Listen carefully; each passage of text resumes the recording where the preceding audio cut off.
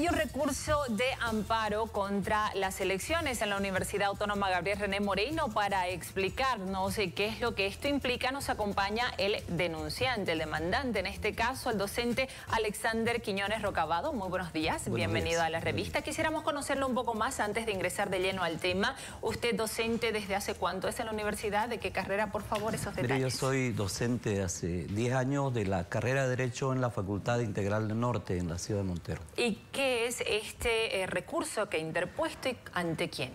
Mire, nosotros hemos interpuesto una acción de amparo constitucional en vista de las acciones ilegales que ha asumido la Corte Electoral Permanente de la Gabriel René Moreno.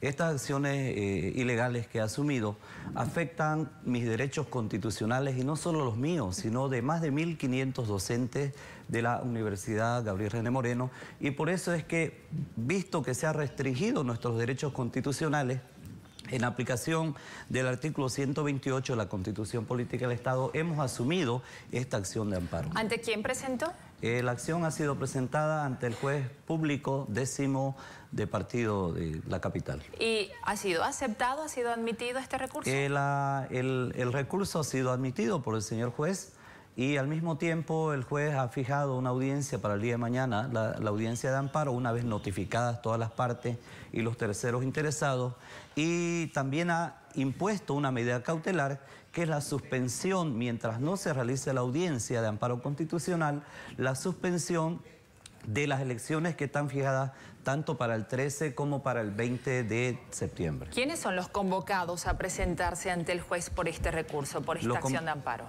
Los directamente eh, accionados son los miembros, cinco miembros de la Corte Electoral Permanente. Sin embargo, también se encuentran como terceros interesados el señor rector de la universidad y así también todos los candidatos a rectores que han estado en la anterior elección. ¿Cuáles son las acciones ilegales que usted aduce eh, realizaron estas personas desde la Corte? Una vez eh, realizada la primera vuelta, la Corte Electoral dictó una resolución 324-2016 en la cual expresamente señala que existe, declara la nulidad de las elecciones para rector y vicerrector. ¿No es verdad? Entonces, esta, esta resolución, de acuerdo al artículo 9 del reglamento electoral eh, de, la, de la universidad, es una decisión inapelable e irrevisable pero más allá aún de eso, la Corte al momento de emitir esta resolución envía una nota al ilustre Consejo Universitario en la cual le dice, hemos dictado la resolución 324-2016 y le pedimos al ICU emita una nueva convocatoria para elecciones de rector y vicerrector. Sin embargo, ilegalmente, la Corte, por movidas políticas internas, por los grupos corporativos de poder que hay dentro de la universidad, dicta una segunda resolución y olvidándose, borrando con el codo lo que hizo con la mano, dicta una nueva resolución y dice, no, no, no, no, de acuerdo a una acción de cumplimiento, yo voy a convocar a nuevas elecciones con la misma convocatoria y eh, con los mismos actores. En ese momento se restringen los derechos de mi persona y de 1.500 docentes para poder participar en una nueva elección como candidatos a rector o vicerrector.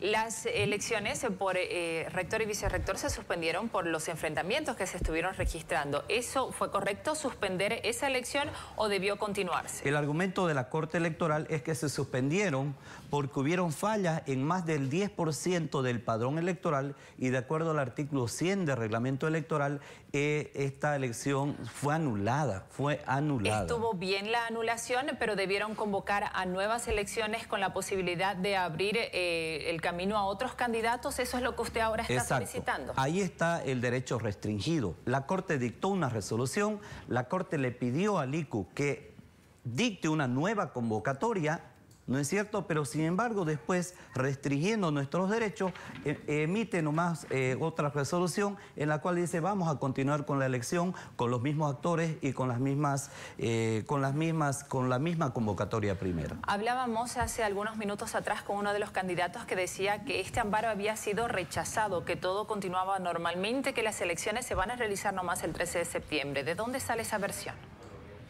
El problema de la universidad es ese, Gabriela eh, alguna gente ha creído que la universidad es un patrimonio personal o corporativo.